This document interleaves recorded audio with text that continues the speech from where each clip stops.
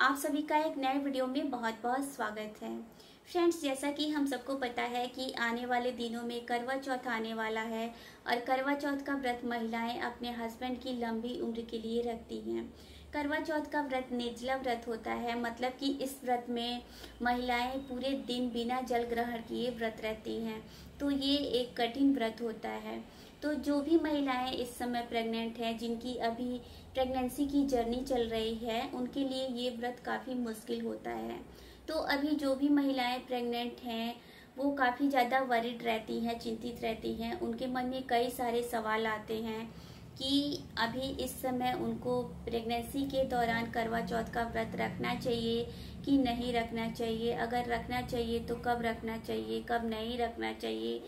अगर वो प्रेगनेंसी के समय करवा चौथ का व्रत रख रही हैं तो उनको क्या क्या प्रिकॉशन लेनी चाहिए? क्या क्या सावधानियों के साथ इस व्रत को रखना चाहिए?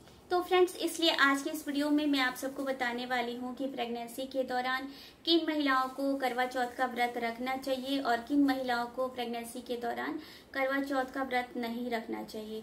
और अगर आप प्रेगनेंसी के दौरान करवा चौथ का व्रत रख रही हैं तो आपको क्या क्या प्रिकॉशंस लेकर क्या क्या सावधानी रख कर ये व्रत रखना चाहिए ताकि आपको और आपके गर्भ में पल रहे बेबी को कोई भी प्रॉब्लम ना आए। इसके साथ ही कुछ आपको टिप्स भी बताऊँगी जिसको आपको फॉलो करके पूरे व्रत के दौरान आप हेल्दी और कंफर्टेबल रह सकती हैं। तो फ्रेंड्स जो भी मेरी फीमेल फ्रेंड्स ये वीडियो देख रही हैं, मैं उनसे कहना चाहूँगी कि आप इस वीडियो को पूरा देखिए ताकि आपको पूरी जानकारी मिल सके और इस वीडियो को अपने फ्रेंड्स के साथ ज़्यादा से ज़्यादा शेयर करिए ताकि उनको भी इसके बारे में जानकारी हो और उनको भी कोई प्रॉब्लम ना हो। तो चलिए फ्रेंड्स इस वीडियो को शुरू करते हैं। तो फ्रेंड्स, मैं आप सबको बता दूँ कि प्रेगनेंसी के दौरान आप करवा चौथ का व्रत रख सकती हैं या नहीं रख सकती हैं, ये आपकी प्रेगनेंसी की कंडीशन पे डिपेंड करता है। पहली कंडीशन ये है कि अगर आपकी प्रेगनेंसी नॉर्मल कंसीव हुई है, आपकी प्रेगनेंसी में सब कुछ नॉर्मल है, आपको कोई भी प्रिकॉशन लेने के लिए नहीं कहा गया है तो आपको प्रेगनेंसी के दौरान कुछ सावधानियाँ रखकर, कुछ प्रिकॉशंस रख कर इस व्रत को रख सकती हैं। आपको कोई प्रॉब्लम नहीं होगी। तो वो कौन कौन सी सावधानियाँ हैं कौन कौन से टिप्स हैं, उसको मैं आप सबको बता दे रही हूँ।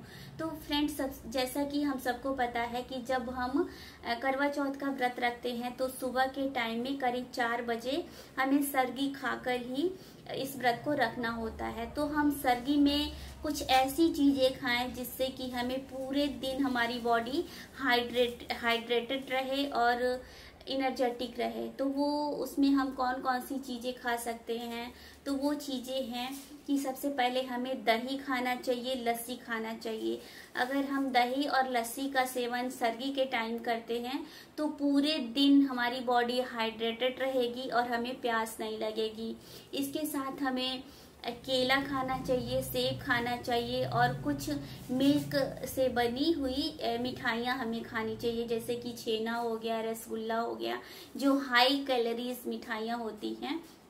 इससे क्या होगा, केला में बहुत ज़्यादा इनर्जी इनर्जेटिक फ्रूट्स होता है वो तो केला खाने से हमें पूरे दिन हमारी बॉडी में एनर्जी रहेगी और ये जो मिठाई से सॉरी जो मिल्क से बनी हुई मिठाइयाँ हैं, जैसे कि छेना है और जो भी चीज़ें हैं जिसमें ज़्यादा कैलोरी होती है, इसको खाने से हमें पूरे दिन हमारी बॉडी में एनर्जी रहेगा, हमें लो फील नहीं होगा।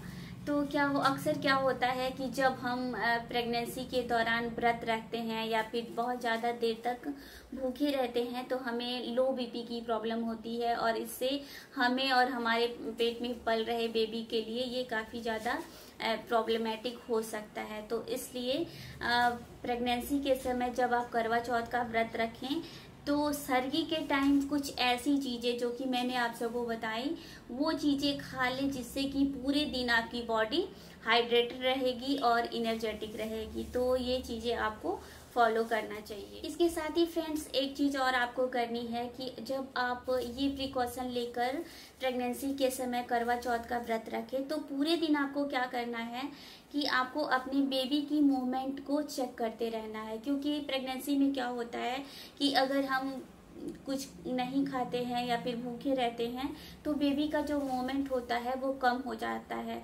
तो आप व्रत तो कर ही रही हैं, इसके साथ साथ आपको ये भी सावधानी रखनी चाहिए कि आपको और आपके बेबी को भी कोई प्रॉब्लम ना हो। तो इसके साथ साथ आपको पूरे दिन जब तक कि आप व्रत को तोड़ नहीं देते हैं, तब तक आपको क्या करना है कि टाइम टू टाइम आपको अपने बेबी की मोमेंट जो है वो चेक करनी है कि बेबी जो है वो प्रॉपर मोमेंट कर रहा है कि नहीं। जो नॉर्मल दिनों में आपका बेबी मोमेंट करता है, उस तरीके से बेबी मोमेंट कर रहा है कि नहीं?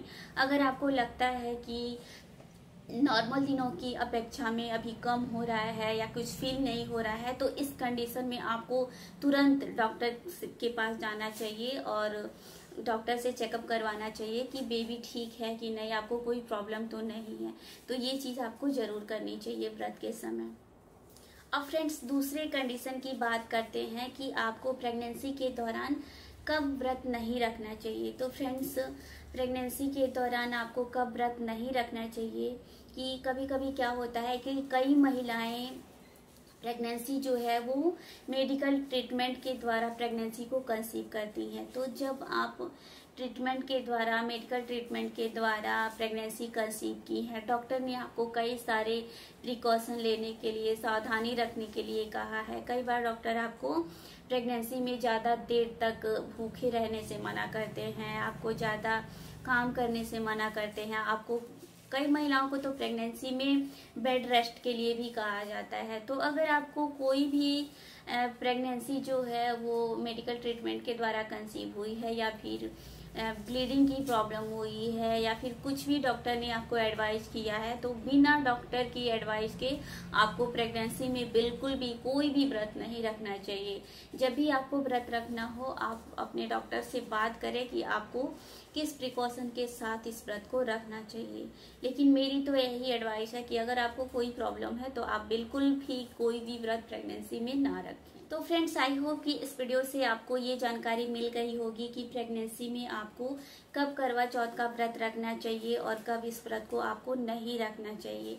तो आई होप कि ये वीडियो आपको यूजफुल लगा होगा। तो आप इस वीडियो को ज़्यादा से ज़्यादा महिलाओं तक इस वीडियो को पहुँचाइए ताकि उनको भी इसके बारे में जानकारी हो सके और उनको कोई प्रॉब्लम ना हो। तो फ्रेंड्स अगर आपको ये वीडियो यूजफुल लगा होगा तो इस वीडियो को लाइक करिएगा, ज़्यादा से ज़्यादा शेयर करिएगा और चैनल को सब्सक्राइब करिएगा।